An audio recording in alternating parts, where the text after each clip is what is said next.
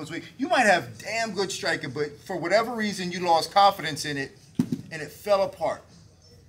Confidence is incredibly important. So how do we increase our confidence? Who else knows this?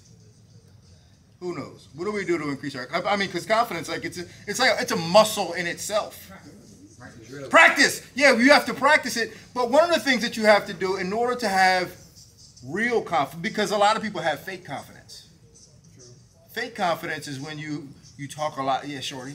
No fake. no fake confidence. No fake confidence is when you talk a lot and you try to intimidate your opponent into believing that you're tough, so that they question themselves and now have, they have doubt in themselves.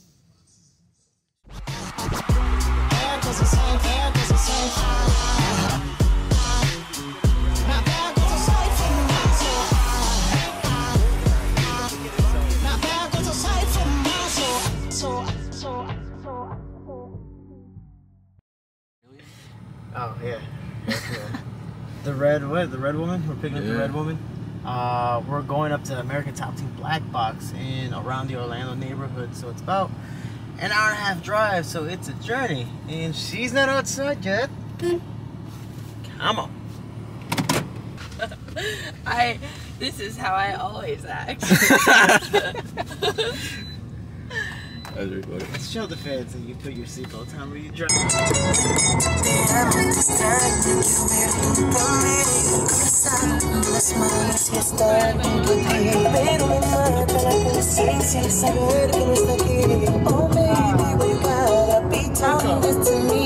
Fucking taco.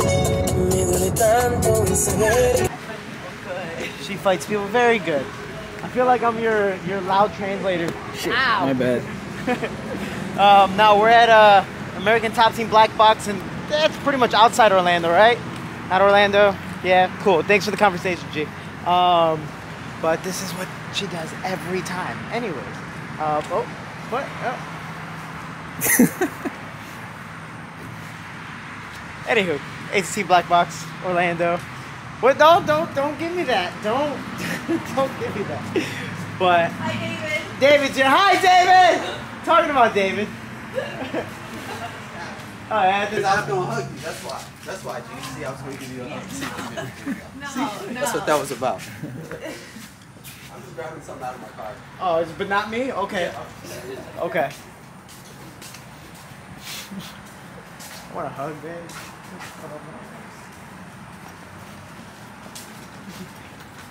Servants, open the door for me. Yes, ma'am.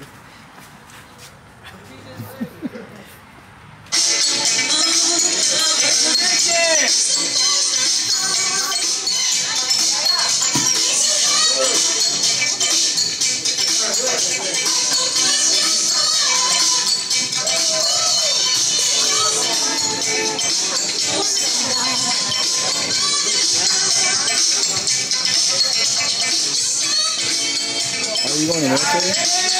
What's Going up? No, here. First layer coming off. Getting hot, huh? First first layer coming off. It's getting hot in here. Oh, how many layers you got on? I'm all just I got two on. Hey, there we go. next. Oh, T-shirt. man. the T-shirt will come off before the jeans do. 'Cause I want to. I want to like Matthew McConaughey walk around with a T-shirt. Okay, I see And you. je- no T-shirt and jeans. Call you Fabio. Oh shit. Florida. Or diabetes, either way. One or the other.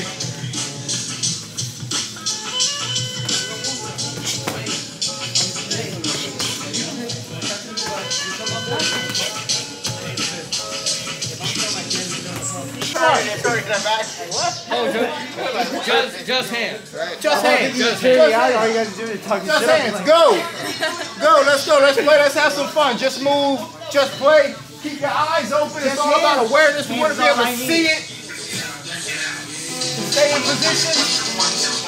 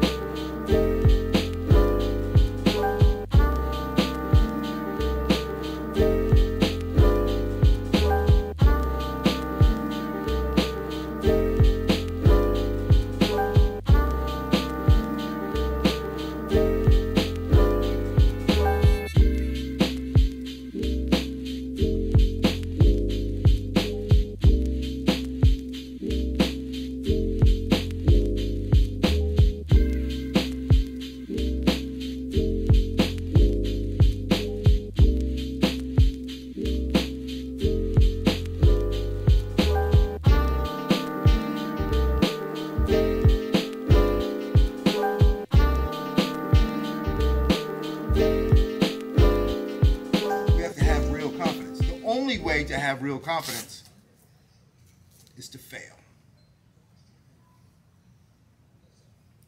The only way to have real confidence is to fail, is to fall down. Fall down and get back up. Fall down, get back up. You know what happens when you fall down and get back up over and over again? Now you're like, fuck it, I don't care. You know, I can go out there and do what I do. And now you know what develops after that? Confidence. Now you're like, I didn't already fail. I didn't already got beat up. It doesn't matter to me no more. So now I have confidence. And then when you have confidence, you can put all them pieces of your game together and be a good fighter. Which is why it's important that we train. And that's what we practice. We practice in this room and we fail in this room. We fail as much as we can. There was a year where I was like, a couple of years ago, I told myself I didn't have a good year professionally. You know why? You know how I know I didn't have a good year professionally? Because I didn't fail enough. And that's how I measure my success on how often I fail. No one fails more than I do. And I try to because I know that when I'm failing that I'm going for something that I want. And then what happens when you start failing a lot, you start to recognize patterns of why you're failing, and then you can say, well, don't do that no more. And then guess what happens? Then you stop failing. And then that's where confidence develops. But it only happens from failing. So don't be afraid to fail. It's going to happen regardless. But if you're going to fail, do it in here as much as you can, where it doesn't matter, where nobody's really, you know, laughing at you, in a judgment-free zone. So that's important that we have judgment-free zones that allow us space to fail without feeling bad about ourselves.